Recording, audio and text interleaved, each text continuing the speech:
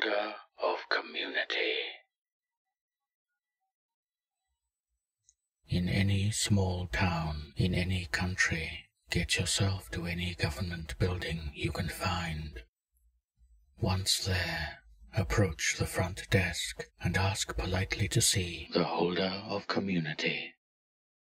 A look of wide eyed fear will come into the clerk's eyes, and she will stare into your face, unblinking. Suddenly, the phone will ring, and she will flinch, looking at it as though it were a poisonous viper. She will pick up the receiver and hold it to her ear.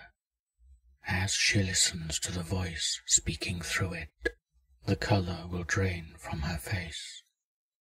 Keep your silence during this time if you wish to continue your quest, for to interrupt the voice is to invite its wrath. Soon the attendant will set the phone back on its cradle and lay her head in her hands, weeping. Put your hand on her shoulder and ask again for the holder of community. With anguish writ large across her face, she will look at you and point mutely to the door you came in. Leave the building. The sleepy town you had seen before lies in ruins. Acrid smoke will fill your lungs as you breathe in the stench of death. Hide quickly, for now is not a good time to be standing in the open.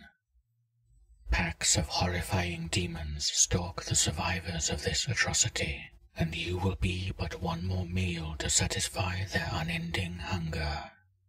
Make your way to the tallest building within sight, as that is your only way out of this damned place.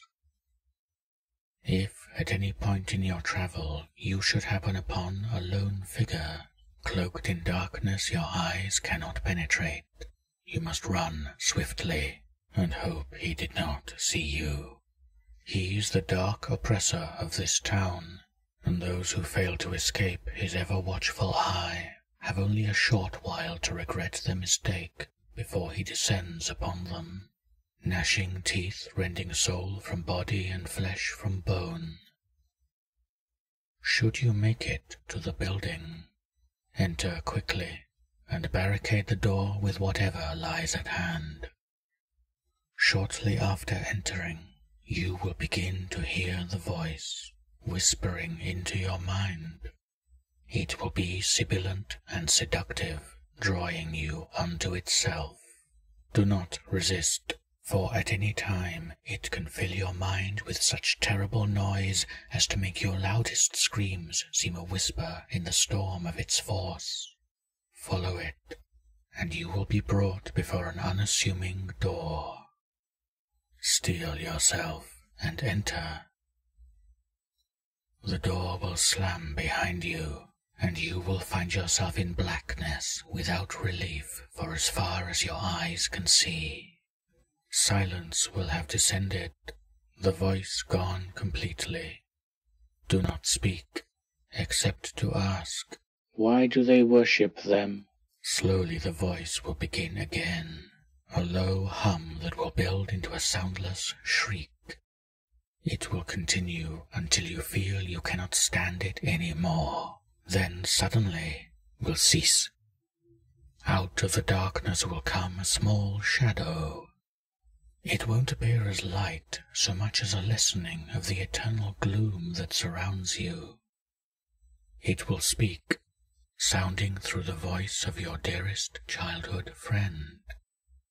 It will describe in stark, horrifying detail all of the deception and tragedy, the lies and bloodshed that have come from those misguided souls who use the objects for their own personal gain.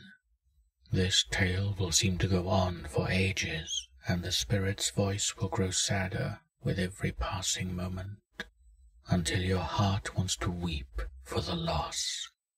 Do not the voice still holds sway, and though bulked for now, it wishes for nothing more than to destroy your mind and leave you gibbering in the darkness for eternity. When the spirit finishes, Close your eyes and wait until you feel hard concrete against your back. Open them, and you will find yourself lying on the steps of the building. The sun will be streaming down upon your face, the blasted ruin relegated to the nightmares of its unsuspecting citizens.